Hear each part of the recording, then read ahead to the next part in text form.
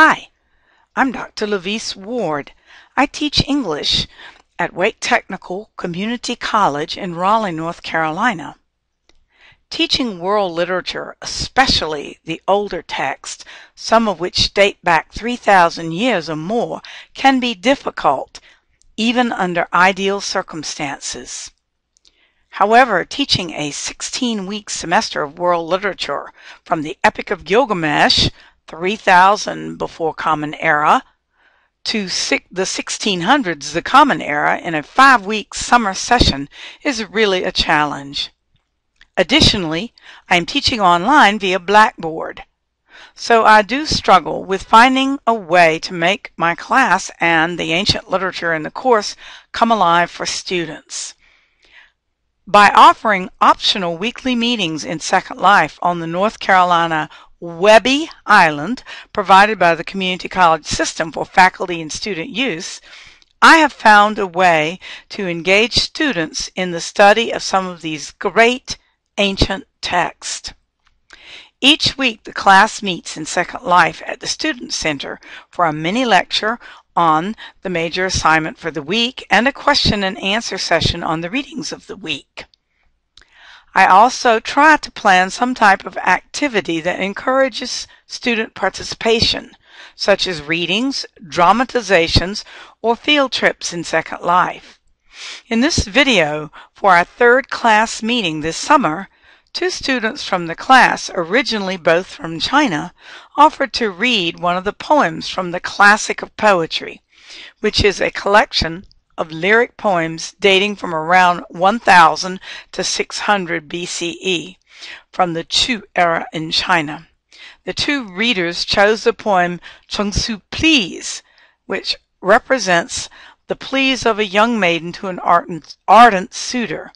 The use of agrarian imagery helps convey the social customs and expectations of this distant time I'd like to welcome everybody. Thanks for coming in tonight. This is meeting number three. We're halfway through our our first summer session. Can anybody believe that? I don't know about you, but I certainly can't. And it's wonderful to see so many of you. And thanks for sh- for signing up as well. We've got two things we're going to do tonight. We're going to work on a little bit with mini essay two, and we're going to have a reading from the classic of poetry. So if everybody sits down facing me just like you are, just sit on the ground, except for our two guests from ancient China.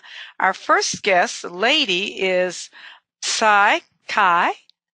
She's reading from a language that's how many thousand years old? What, what did we say? 2,000 years old?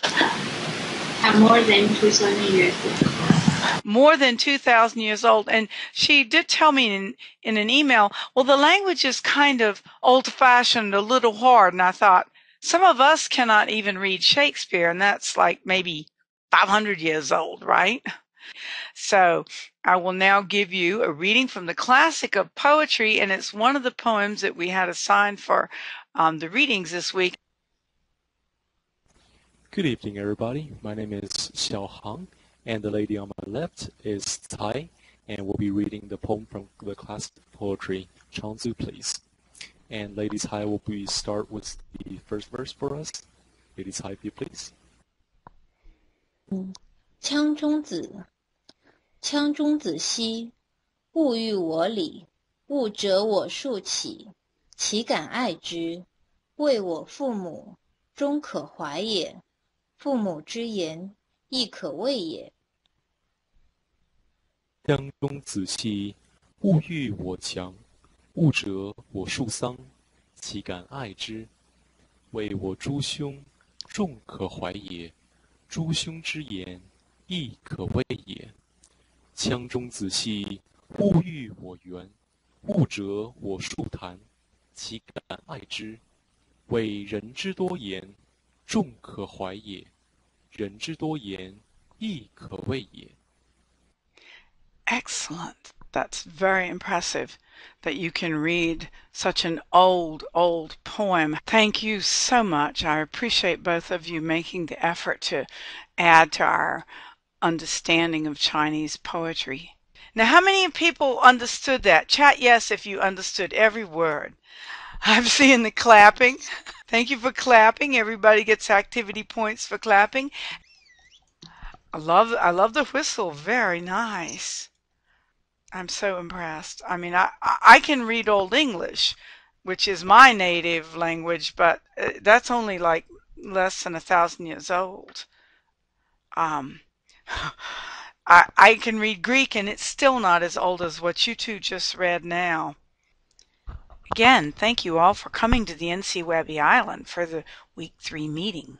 A special thanks to our two guests from the Chinese court, Lord Shahong and Lady Xi, who read for us. Best of luck with writing mini essay 2. Please post any further questions about this assignment on the Blackboard in the discussion board. Have a great weekend. Until next time.